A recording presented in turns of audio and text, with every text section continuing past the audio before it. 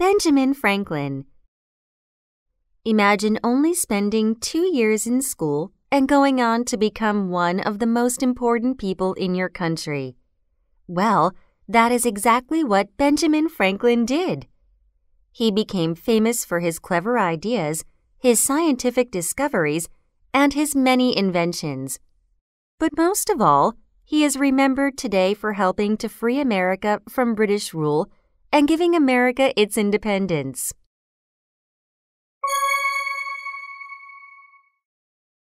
Early life Benjamin Franklin was born in 1706 in Boston, Massachusetts.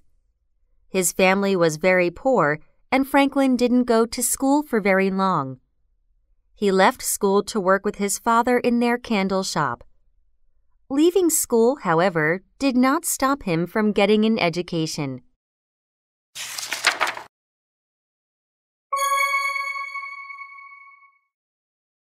Reading and writing. Franklin learned a lot from reading books. He loved to read anything he could find. Books were Franklin's school. Franklin also loved to write. He had a very interesting method of improving his own writing. When he finished reading something, he would try to remember it and rewrite it all from memory.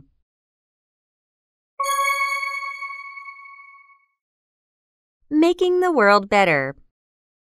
Franklin was determined to improve the world around him. If something could be done, Franklin wanted to find a way to do it better. This even included his own lifestyle. For example, he once read that a vegetarian diet was healthier than eating meat, so he stopped eating meat. Franklin also wanted to be seen as a good example to society. He made a list of 13 good habits, or virtues, that helped to improve his way of life. He focused on one of them each week until he was good at them all.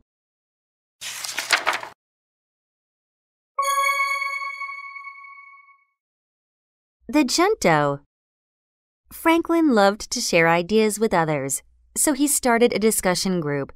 This group met every week to talk about their ideas and discuss ways of improving the society they lived in. This group was called the Junto. Franklin wrote many of his new ideas in a magazine he called Poor Richard's Almanac. This magazine became very popular, and Franklin soon became famous in America as well as other countries.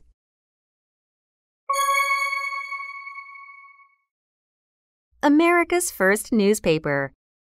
At the age of just 23, Franklin published America's first national newspaper called the Pennsylvania Gazette. Just two years later, in 1731, Franklin started America's first public library. This was a huge success. Franklin even said that reading books made Americans smarter.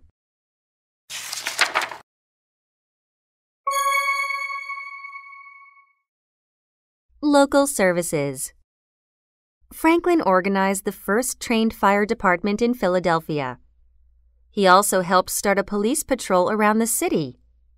This helped to keep the streets safe at night. Franklin helped raise money to build the first hospital in America. He also began a school, now known as the University of Pennsylvania.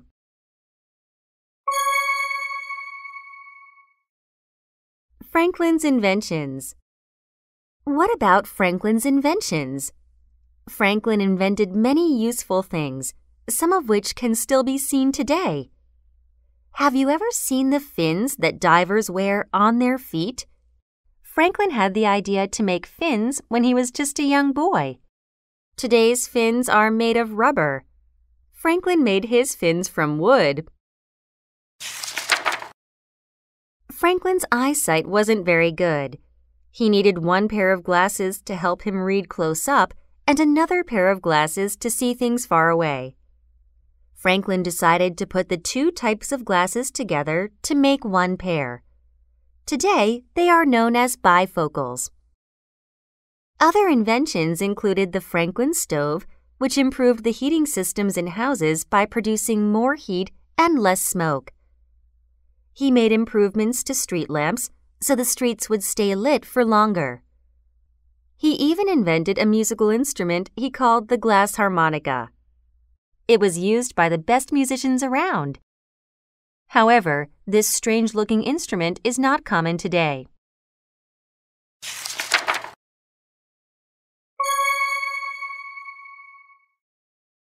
Electricity Franklin really enjoyed experimenting with electricity. One day, he attached some metal to a kite and flew it into a lightning storm. The kite attracted the lightning and proved that lightning was an electrical charge. This gave Franklin the idea for his favorite invention, the lightning rod. Lightning rods are metal poles placed on the top of buildings to protect them from lightning. We still use lightning rods to protect many of our buildings today.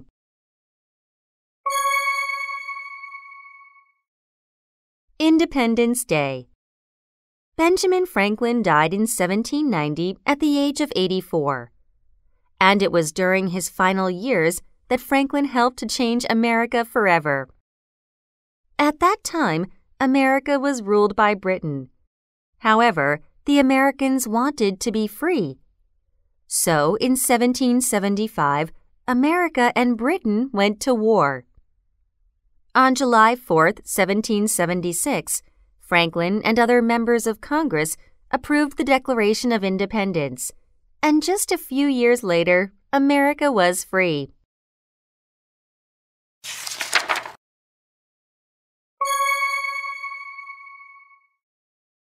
The First American in 1789, Franklin and the others signed the Constitution of the United States of America. This important document contains the laws about how the country is organized and run. The Constitution is still very important today. Many people today call Franklin the first American. And every year on the 4th of July, Americans celebrate Independence Day.